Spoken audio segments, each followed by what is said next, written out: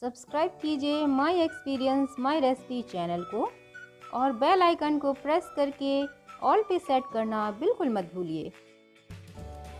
Hi friends, मैं हूँ प्रतिभा। My recipe में आपका बहुत बहुत स्वागत है।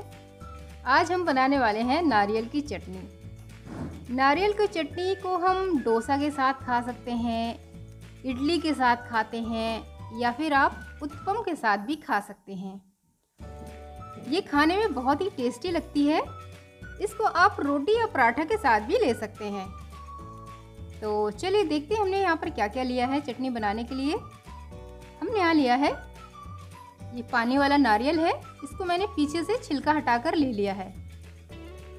धनिया पत्ती, एक हरी मिर्च, थोड़ा सा दही, ये दो चम्मच दही है, छोटे चम्मच दही। और दो चम्मच मूंगफली के दाना।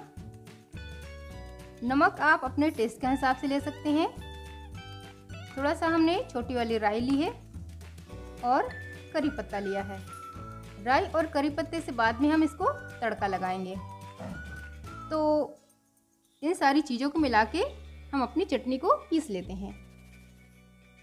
तो अपने मिक्सी के जार में इसको डाल लेते हैं। हम नारियल के छोटे छोटे टुकड़े करके जार में डालेंगे।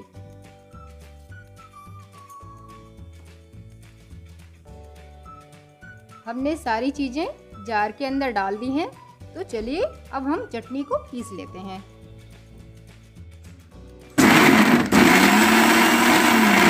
हम थोड़ा पानी ऐड करके इसको बीच बीच में चलाते हुए पीस लेंगे।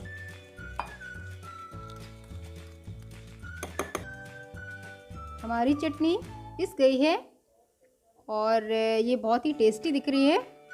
इसकी कंसिस्टेंसी इस तरह से होनी चाहिए। ये थोड़ी थिक ही अच्छी लगती है। तो चलिए अपनी चटनी में अब तड़का लगा लेते हैं। फ्रेंड्स हमने अपने चमचे में एक या दो छोटा चम्मच सरसों का तेल डाल लिया है। इसको हम गरम करते हैं।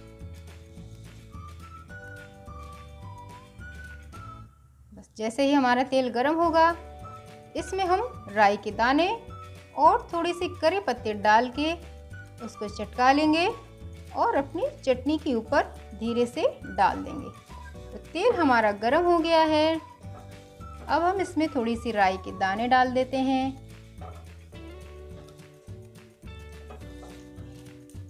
आप कम पसंद करते हैं तो कम दाने डालिए। ज़्यादा दाने पसंद करते हैं तो ज़्यादा डाल लीजिए। थोड़ी सी करी पत्ता डालेंगे। और अपनी तड़के को चटनी के ऊपर डाल देंगे। चलिए, हमारी चटनी तैयार हो गई है।